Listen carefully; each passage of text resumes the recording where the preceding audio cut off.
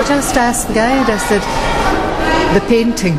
Voted Scotland's favourite painting, Salvador Dali's Christ of St John of the Cross. You see the crucified Christ as if from above, looking down on him, and he seems to be leaning forward from the cross. And there's this almost trompe l'oeil effect which makes you feel that it's really in 3D. Mm, and a real feeling of ascendancy, both spiritually and literally. It does look almost as if he is going up to heaven because he is up near the top of the top of the composition. To me, he's ascending to the house of his father. He's, he's going home. You both feel as if you're looking up at the cross, but also the figure on the cross is coming out towards you.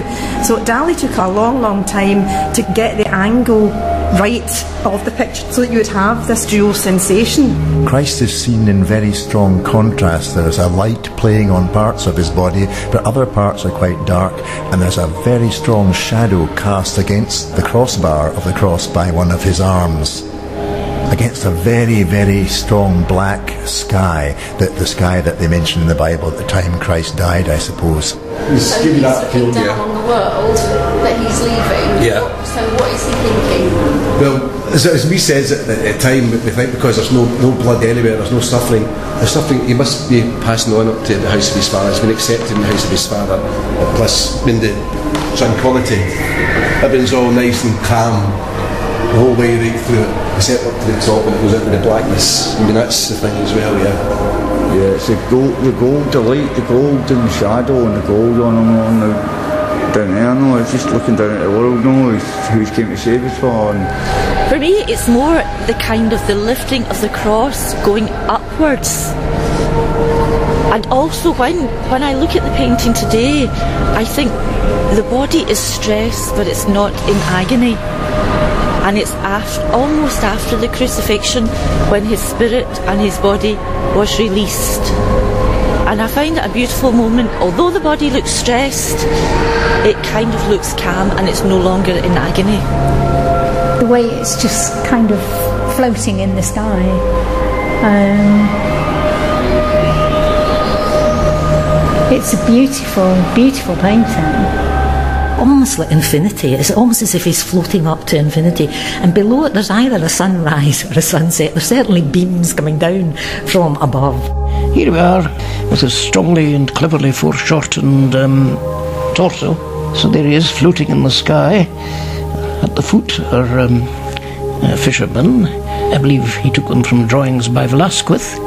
You see people standing in front of it in the galleries, standing just in awe most people do not speak at all.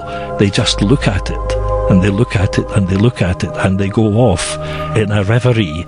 Things are triggered off in their subconscious. Struck right in. When they come to us, I like to see it. There are no words for certain things, and there are no words for that. It's just, it's, it's wonderful. It makes me shiver.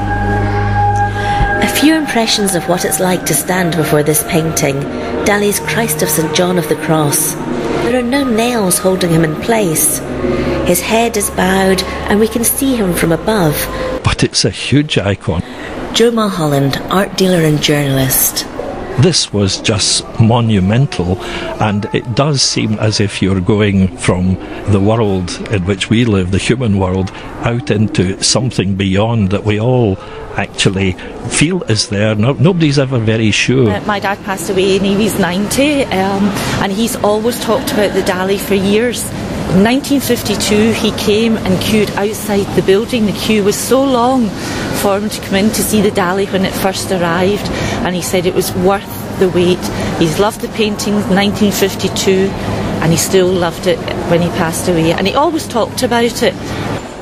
It was an immediate hit among the members of the public, generally speaking, because it was such a fantastic composition. It made such an impact on them. The other side of the coin was that there were some people who didn't like it, but possibly because they didn't trust Dali, they didn't really think he was religious. So there were some rather uh, strong letters written to the press, but not, not all.